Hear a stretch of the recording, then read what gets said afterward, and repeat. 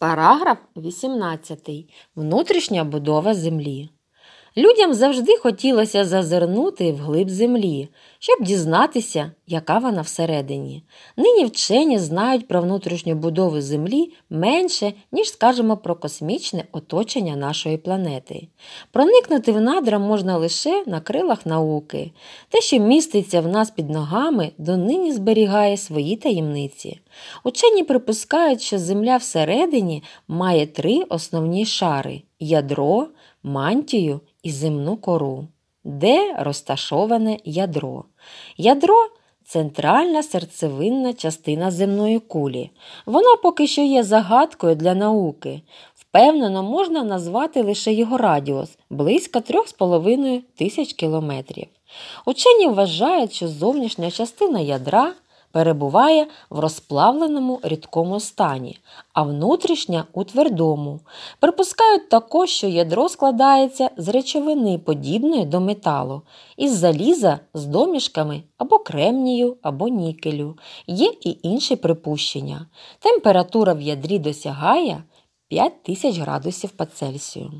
Що вкриває мантія? Мантія внутрішній шар землі, який покриває ядро. Її товща потужність 2900 км. Це найбільший із внутрішніх шарів планети 83% об'єму Землі. Мантію, як і ядро, ніхто ніколи не бачив.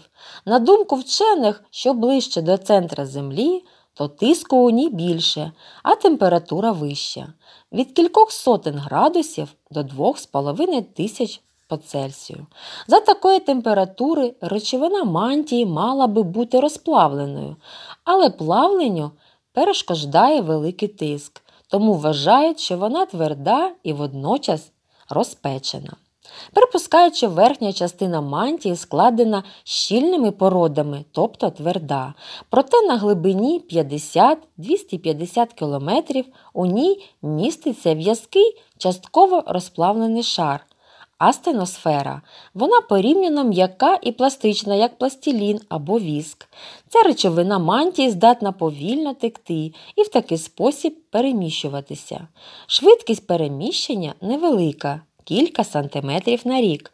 Проте це відіграє велику роль у рухах земної кори, про що йтиметься далі. Земна кора. Зовнішній твердий шар землі. Порівняна з ядром і мантією, вона дуже тонка. Товща земної кори найбільша у горах 70 км. На рівнинах вона становить 40 км, під океанами лише 5-10 км. Товщу земної кори часто порівнюють із шкіркою яблука. Вона дійсно відносно тонка, але це та земна твердь, що є для людей основою світу. Саме на тонкій земній корі здіймаються гори, стоять будинки, по ній ходять люди, течуть річки, а в її зниженнях лежать моря та океани.